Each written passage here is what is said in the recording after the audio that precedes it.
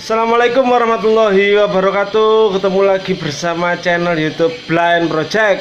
Channel youtube paling blind sa Indonesia Raya.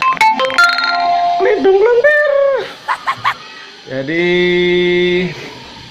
pada video kali ini saya akan membahas Bagaimana reaksinya setelah vaksin pakai vaksin Pfizer tulisannya Pfizer Pfizer apa Pfizer pokoknya vaksinnya kata Pak Dokter dari Jerman.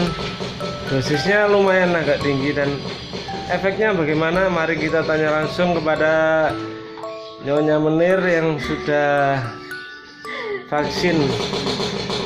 Pertama pakai Pfizer tiga hari yang lalu. Jadi untuk hari pertama biasa-biasa saja ya. Biasa saja. Biasa saja. Kita vaksinnya selisih berapa menit gitu. jadi waktu itu malam antriannya itu apa ya sampai membludak gak misalkan kuotanya 500 itu yang antri sampai 600 jadi akhirnya ada sedikit pelanggaran prokes. Nggak jaga jarak malah berkerumun. Jadi hari pertama biasa-biasa saja ya. Lagi malam karena siang. Kita, kita kan vaksinnya itu siang. Siang pas suntiknya itu siang malam baru rasa panas badan ini panas. Rasa apa malam? Disuntik siapa malam?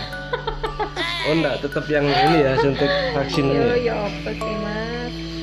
Malam baru kerasa wis tulangi rasanya oh, remuk rasanya remuk badan ya tapi untuk badan kulit luar tidak panas.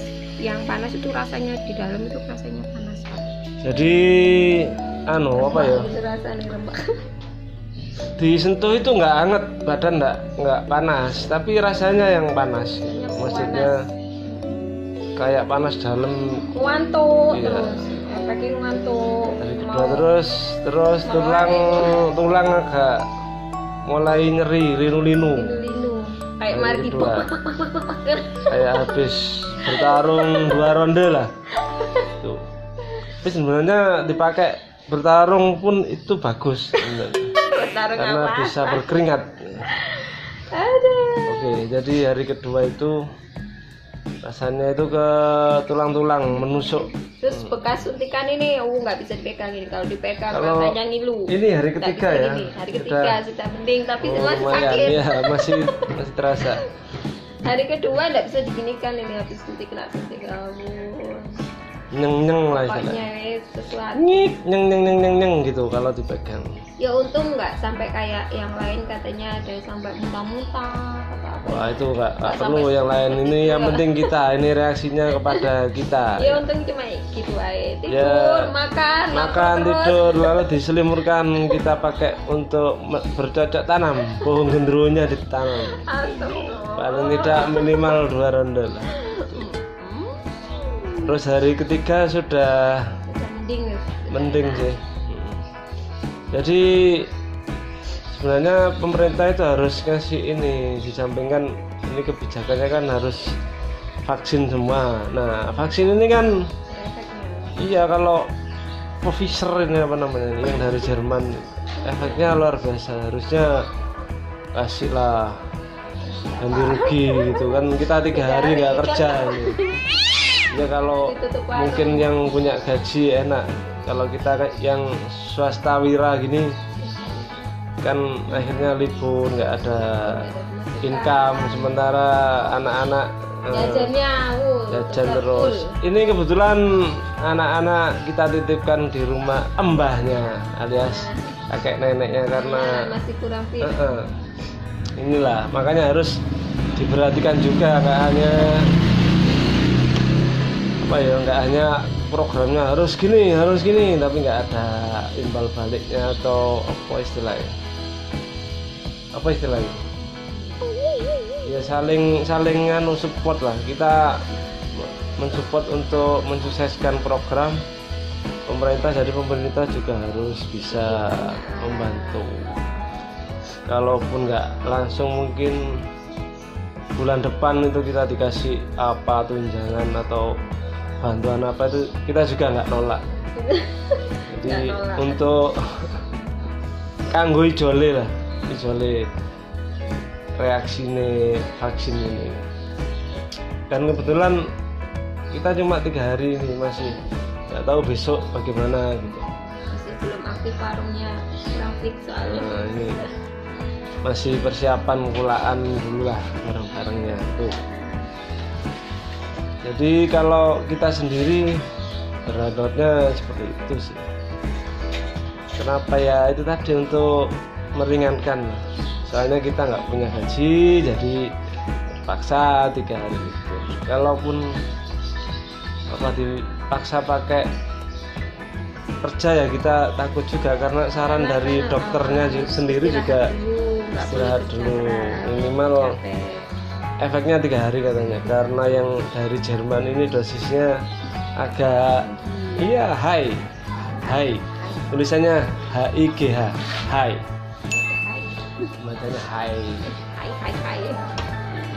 iya ya, gitu semoga besok hari keempat eh, sehat kembali dan aktivitas jualan jalan lagi. Amin. kok bisa jalan tempatnya Oh, kan di jalan. sini Itu Kok jalan maksudnya kita bekerja lagi, Bos. Oh, siap. Siap, ya. Semangat. jadi untuk teman-teman yang belum vaksin nggak usah takut karena sekarang pinter juga pemerintah biar programnya ini sukses jadi apa-apa harus Harus dulu. harus butuh Itu apa, barcode-nya. Eh, apa itu namanya perpanjangan? Ya pokoknya untuk ini di daerah saya tapi ya nggak tahu di tempat lain itu. Bahkan orang-orang ini manula-manula itu sekarang eh, rebutan sibuk cari jadwal vaksin. Dulu awal-awal nggak pernah mau ya apa ya istilahnya takut lah, takut efeknya. Hmm, mungkin karena berita-berita juga Oh, simpang iya. siur dan siur simpang jadi banyak manula yang nggak mau orang kalau sudah tua kan apa daya tahan tubuhnya kan beda dari yang kita masih aktif bekerja gitu kan efeknya takutnya berlebihan akhirnya dampaknya ya fatal kayak gitu. Akhirnya orang yang sudah tua-tua itu lebih menolak lah karena takut. Tapi sekarang berlomba-lomba karena bantuan apa saja itu persyaratannya barcode vaksin ya. Ya harus punya, Harus punya. apa itu namanya? Sertifikat. Sertifikat vaksin. Jadi apa-apa sekarang sertifikat vaksin. Mau nikah pun kalau nggak semua anggota keluarga loh. Vaksin dulu nggak? Boleh nikah. Jadi nggak bisa kopet-kopet gini nanti ya. oke. Yang saya rasa cukup sekian dulu untuk video kali ini. Gimana reaksi dari hmm, vaksin Pfizer? Jadi nggak perlu takut. Sebenarnya ya semoga tidak terjadi apa-apa. Yang penting tidak ada gejala-gejala penyakit bawaan sebelumnya. Jadi nanti pasti ditanya apa punya riwayat. sesak atau iya seperti itu. Oke teman-teman.